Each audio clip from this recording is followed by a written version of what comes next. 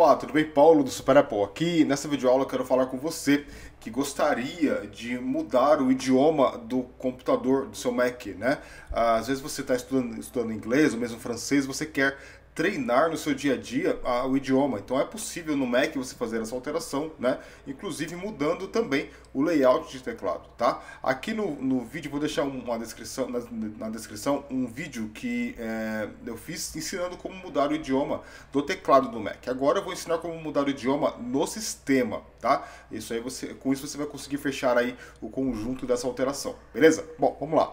A primeira coisa a fazer, obviamente até, né, é clicar aqui no menu da maçã é, em seguida, preferências do sistema. Aqui em preferências, ó, você vai localizar a opção idioma e região.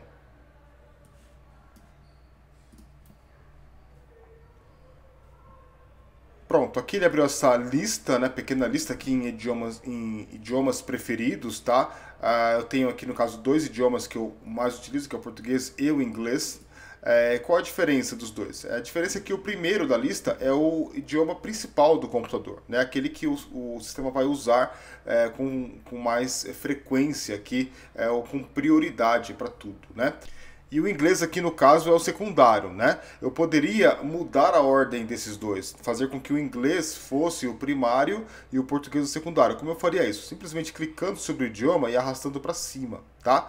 É, então quando eu faço isso ele muda já o, a linguagem do sistema, tá? Em alguns casos você vai precisar reiniciar o seu computador para efetivar totalmente esta alteração, né? É, e como é que seria isso na prática? Ah, alguns aplicativos, deixa eu voltar aqui para o português para a gente entender melhor, tá?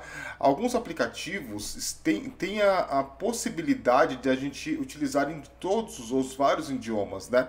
É, por exemplo, se eu baixo um aplicativo agora no meu Mac com o idioma em português sendo o principal, se esse aplicativo entender o português, ele vai traduzir todo o software para português, vai facilitar muito a minha vida, né?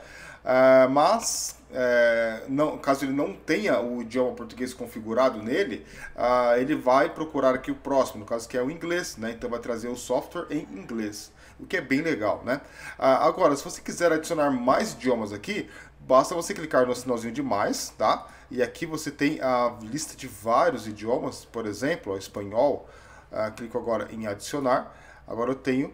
Uh, importante aqui, ele já vai me perguntar se eu quero definir esse idioma como principal, né? No caso ainda não, mas vou usar aqui português do Brasil, tá?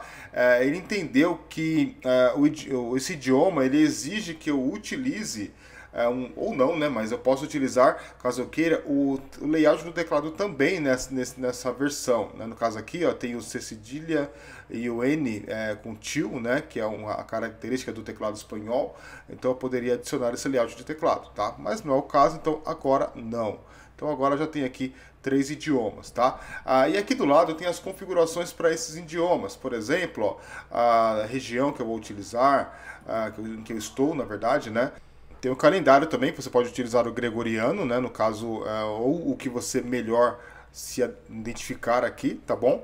Ah, enfim, tem outras configurações aqui básicas, né? E aqui embaixo, ó, ele me dá ah, como é que seria essa configuração ah, para data, para horário, né? Para data em número ou para valor em real, né? Então, assim você vai configurando aí o seu Mac com o layout e o idioma que melhor se adapta à sua rotina, beleza?